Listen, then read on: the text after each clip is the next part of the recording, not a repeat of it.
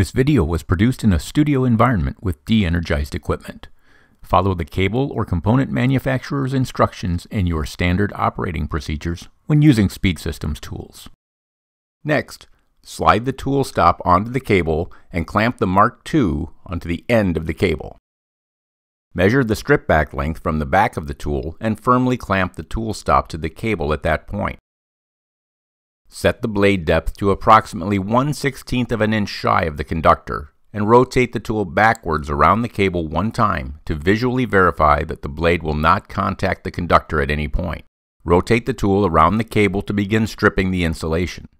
The angled guide rollers draw the tool into the cable as you rotate it around the cable. The tool will stop and square off the cut when it contacts the tool stop.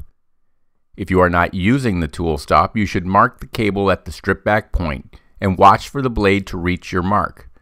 Pull back slightly on the tool to square off the cut at that point.